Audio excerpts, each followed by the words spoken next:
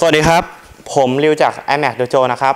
วันนี้ผมจะมาอธิบายท่าอุเดฮิชิกิเทกาตาเมะนะครับ ท่านี้อยู่ในท่า iMac Dojo เลเวลที่ 5 ท่าที่ 1 นะครับ เดี๋ยวเป็นไงเชิญรับชมได้เลยนะครับ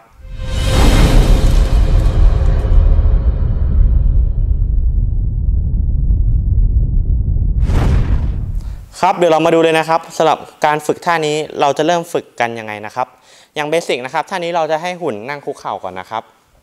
คือนั่งคุกเข่าในรูปแบบนี้ เริ่มที่ตอนนี้ผมอยู่ฝั่งขวาของหุ่นนะครับ ขวามือของหุ่น ผมก็จะเอามือซ้ายของผมลงไปใต้แขนจับตรงปกคอด้านในตรงนี้นะครับ แล้วก็อีกมือหนึงจับตรงข้อมือนะครับ จับข้อมือไว้อย่างนี้ พร้อมกับเตรียมตัวที่จะโรลไปโรลหรือหมุนไปด้านล่างนะครับเนี่ยครับผมก็จะทิ้งตัวไปด้านล่างเป็นนอนนะครับ เพื่อให้หุ่นหมุนตามผมนะครับ คล้ายๆท่าทุ่มนะครับ พอมันอยู่ในท่านี้นะครับ เราจะหักจากตรงนี้ยังไม่ได้นะครับ อย่างนี้มันไม่มี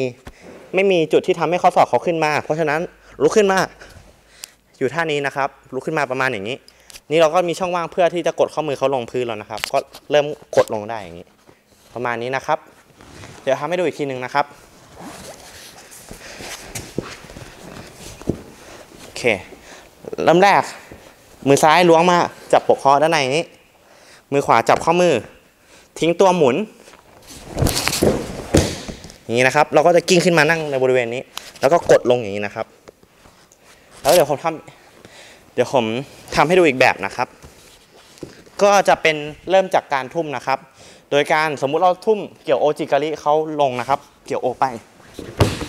นี่นะครับ ให้เอามือขวานะครับ มาจับข้อมือแทน มือซ้ายมาจับปกด้านในเขาอย่างนี้พร้อมกับกดลงอย่างนี้นะครับ นี่ก็หักได้แล้วนะครับ ประมาณนี้นะครับเดี๋ยวท่านี้ก็จะประมาณนี้นะครับ อย่าลืมกดไลค์คอมเมนต์แชร์เพื่อเป็นกำลังใจให้กับ iMac Dojo ด้วยนะครับ และที่สำคัญที่สุด อย่าลืมกดติดตามหรือ subscribe และกดกระดิ่ง เพื่อที่จะไม่พลาดคลิปต่อๆไปของเราด้วยนะครับ ขอบคุณครับ